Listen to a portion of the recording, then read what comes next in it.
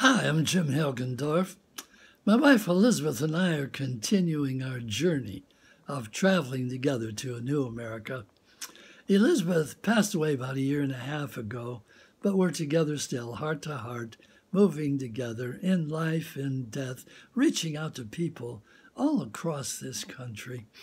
Um, you know, uh, there's so much uh, darkness impinging upon our lives these days the murders, the uh, wars, the epidemics, everything seeming to crush our spirits.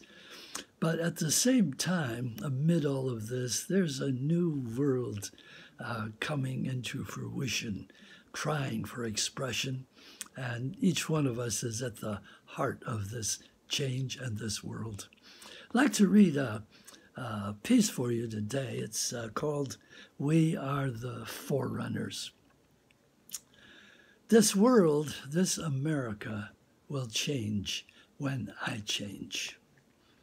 I begin the process, others follow.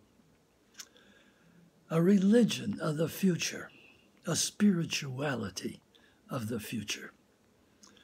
Loving the animals, respecting each person as a flower of the universe, treasuring all, denying no one admittance to the broad circle of humanity. Racking our brains and muscles to care for all, using our heaven sent talents to inspire others, to raise others, to bring forth and foster those mightier and more talented than ourselves, to care for nature, seeing in nature the mirror of ourselves, giving our hearts to others, working for a generous, magnificent future, selflessly pushing ourselves so that others may live and breathe more freely. Letting flow through our thoughts and deeds undreamed of goals and visions, hearkening from the very core of life itself. Believing in our own unfathomable power to fashion the new reality. Believing in a new America.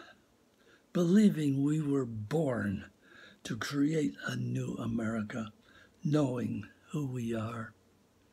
We are the forerunners, here now and forever. Um, finally, I'd just like to say, you know, uh, please read our book, Traveling Together to a New America. And I hope you follow us on uh, Twitter. Hope you follow us on YouTube. But at the same time, I'd like to say to you, please keep faith with yourself.